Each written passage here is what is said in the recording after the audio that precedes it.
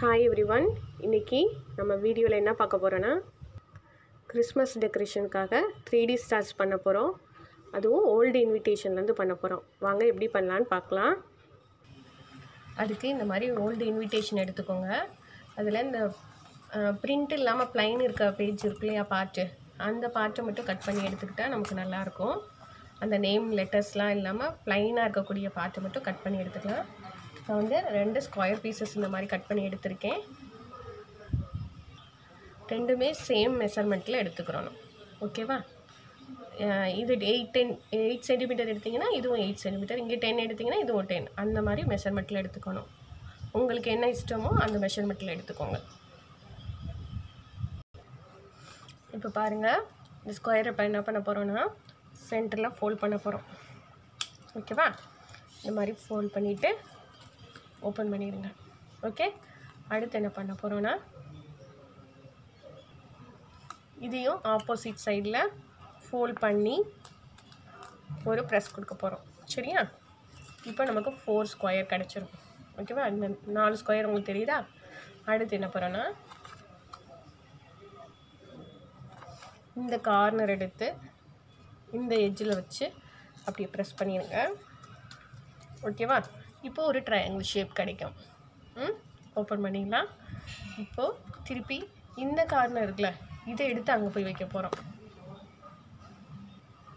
பாருங்கள் இதை எடுத்துகிட்டு போய் இந்த கார்னரில் வைக்க போகிறோம் வச்சு இப்போ ஒரு ப்ரெஸ் கொடுத்துருங்க. ஓகேவா இப்போ ஓப்பன் பண்ணிங்கன்னா உங்களுக்கு வந்து இந்த மாதிரி லைன்ஸ் வரும். தெரியுதா? இப்போ உங்களுக்கு இந்த லைன்ஸ் தெரியணுன்றதுக்காக நான் லைன் போட்டு காமிக்கிறேன். ஓகே இப்போ பாருங்கள் நம்ம அந்த ஃபோல்டிங் உள்ள இம்ப்ரெஷனில் அதில் லைன் போட்டு வச்சுருக்கேன். ஓகேவா இந்த மாதிரி தான் இருக்கும். இப்போ நம்ம என்ன பண்ண போகிறோன்னா சிஸ்டர் வச்சு ஒவ்வொரு இம்ப்ரெஷன்லேயும் இந்த ஸ்கொயர் இருக்குல்ல ஒவ்வொரு ஸ்கொயர்லேயும் இந்த நடுவில் இருக்க லைனில் மட்டும் ஒரு பாதி பாட்டில் கட் பண்ணால் போதும். ஓகேவா ஃபுல்லாக கட் பண்ணக்கூடாது. அது மாதிரி இங்கேயும் பாருங்கள் இந்த சென்டர் பாயிண்டில் இவ்வளோ தூரம் கட் பண்ணால் போதும். ஓகேவா திருப்பி பாருங்கள் இந்த நடுவில் இருக்கு இல்லையா? இந்த நடு லைனை கொஞ்சம் பாதியை கட் பண்ணால் போதும். அதே மாதிரி இந்த ஸ்கொயரையும் பாதியை கட் பண்ணால் போதும். ஓகேவா இப்போ பாருங்கள் உங்களுக்கு டோட்டலாக இந்த ஃபோர் ஸ்கொயர்ஸ் தெரியும். ஃபுல்லாக கட் பண்ணிடக்கூடாது ஹாஃபாக கட் பண்ணியிருக்கணும். திருப்பி சொல்கிறேன் பாருங்கள் நமக்கு மாதிரி இந்த இந்த மாதிரி இம்ப்ரெஷன் கிடைக்கும். அதில் நடுவில் இருக்கக்கூடிய லைன் இருக்குல்லையா? அதில் கொஞ்சமாக கட் பண்ணியிருக்கணும். இது மாதிரி ஃபோர் சைட்ஸையும் கட் பண்ணியிருக்கணும். ஓகேவா கொஞ்சம் தள்ளி தள்ளி. மிடில் வரையே கட் பண்ணிடாமல் கொஞ்சம் தள்ளி கட் பண்ணியிருக்கணும்.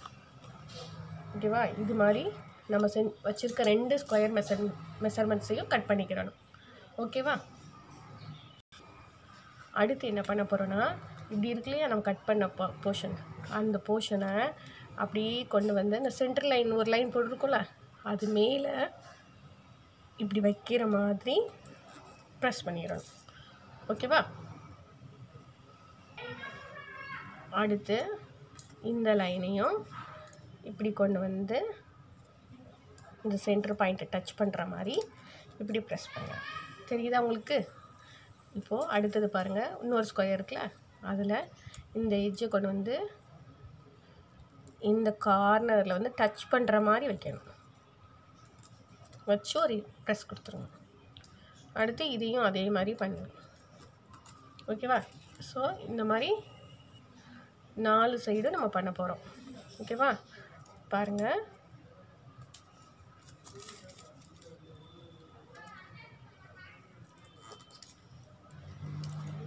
இந்த மாதிரி பண்ணிக்கலாம்.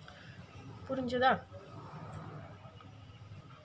ஓகே இன்னொரு இன்னொரு ஸ்கொயரையும் நான் பண்ணி காமிக்கிறேன் பாருங்கள் இந்த கார்னர் எடுத்து இந்த ஒரு ஸ்கொயரோட பார்ட் இருக்குல்ல இந்த ஒரு எஜ்ஜை எடுத்து இந்த சென்டர் பாயிண்டில் வந்து டச் பண்ணுற மாதிரி ப்ரெஸ் பண்ணணும். அடுத்து இந்த பாய் பாயிண்ட்டை எடுத்து இங்கே வந்து டச் பண்ணுற மாதிரி வைக்கணும். வச்சுட்டு ஒரு ப்ரெஸ் கொடுத்துருங்க. இதே மாதிரி ஃபோர் சைஸையும் நம்ம பண்ண போகிறோம் ஓகேவா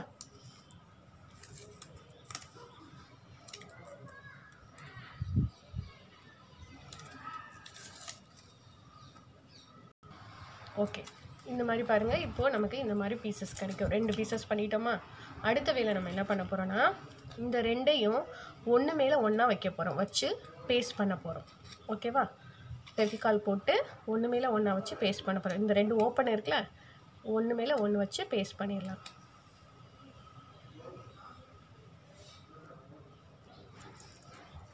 ஓகே இந்த பாருங்கள் இந்த மாதிரி வச்சு பேஸ்ட் பண்ணிடணும் ஓகேவா இது கொஞ்சம் நேரம் டைம் எடுக்கும் இது காயிருக்கு இது க்ளூகன் போட்டோன்னா வேகமாக ஒட்டிக்கும் ஃபெவி பாண்டோ அல்லது க்ளூகனோ போட்டோன்னா ஒட்டிக்கிறோம் சரியா? இந்த மாதிரி இந்த நாலு எட்ஜஸையும் நம்ம செய்ய போகிறோம்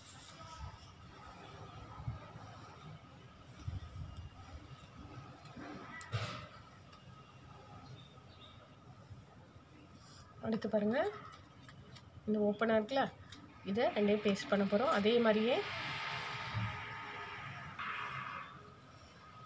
பாருங்க. இந்த மாதிரி பேஸ்ட் பண்ணிக்கலாம்.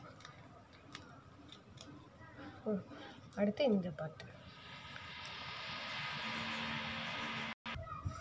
ஓகே இப்போ பாருங்கள் நம்ம பேஸ்ட் பண்ண பிறகு இந்த மாதிரி எம்போஸ்டாக இருக்க மாதிரி இருக்கும். சரியா? அப்படி தூக்கலாக இருக்க மாதிரி இருக்கும். இது உள்ள பள்ளமாக இருக்க மாதிரி இருக்கும். இந்த இது நம்ம பேஸ்ட் பண்ணாதது இதுக்கு இதுக்கு டிஃப்ரென்ஸ் தெரியுதா? இதையும் இதே மாதிரி பண்ண போகிறோம் ஓகே ஓகே பாருங்கள் இந்த மாதிரி நம்ம பேஸ்ட் பண்ண பிறகு இந்த மாதிரி ரெண்டு பீசஸ் நமக்கு வந்துருச்சுல இந்த பீசஸை என்ன பண்ண போகிறோன்னா இந்த மாதிரி சென்டரில் பாயிண்ட் வச்சு சென்டர் பாயிண்ட் வச்சு நம்ம பேஸ்ட் பண்ண போகிறோம் ஓகேவா இந்த இடத்துல கம் அப்ளை பண்ணிவிட்டு நம்ம இந்த இதை அப்படியே தூக்கி ஒட்டிட போகிறோம் ஓகே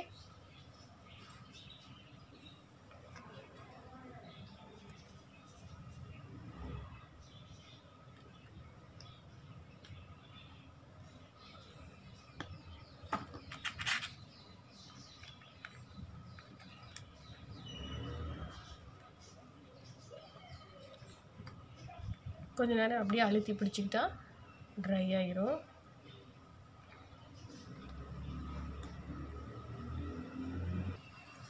ஓகே பாருங்கள் கொஞ்சம் நேரம் காயிட்டும். ஏற்கனவே பண்ண ஸ்டார் ஒன்று இருக்குது பாருங்கள் சரியா? இந்த மாதிரி இது ஒரு ஓல்டு இன்விடேஷனில் பண்ண ஸ்டார்ஸ் ஓகேவா ஸ்டார்ஸ் நீங்களும் செஞ்சு பாருங்கள் நீங்கள் ஸ்டார்ஸ் செஞ்சு கிறிஸ்மஸ்க்கு டெக்கரேஷன் பண்ணுங்கள் உங்கள் வீடை. Okay thank you